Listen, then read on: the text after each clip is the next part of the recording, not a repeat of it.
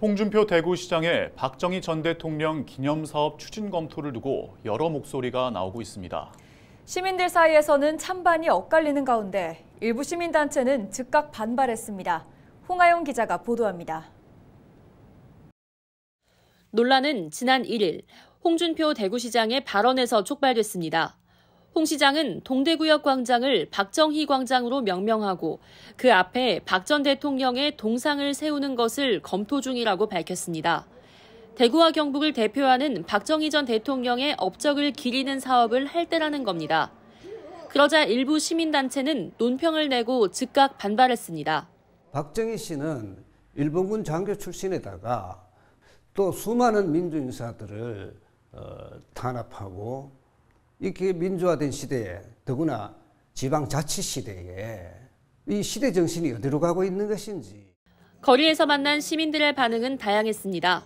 어, 홍준표 대구시장이 그래도 경상북도의 인재 중에 박정희 대통령을 꼽았고 또 경제를 일으킨 주역이기 때문에 대구시의 상징적인 이런 광장과 동상이 있는 것에 대해서는 저는 찬성합니다.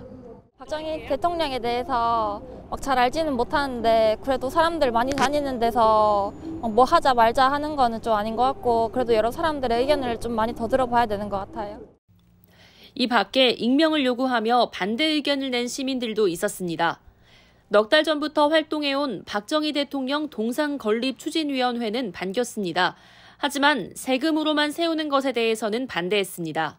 대구시 세금 예산으로 이 동상을 건립하기도 하니까 아주 반발이 당장 나오고 있습니다. 그래서 어, 이런 반발과 저항 없이 원만하게 어, 시도민의 축제 속에서 박정희 대통령 동상을 건립하려면은 민관 협력으로 이 박정희 대통령 동상을 건립하는 것이 홍준표 대구시장은 소셜미디어를 통해 일부 단체가 박정희 전 대통령 기념 사업에 온갖 음해와 시비를 걸고 있다며 눈치 보며 시정을 운영하진 않는다는 말로 사업 강행의 뜻을 피력했습니다.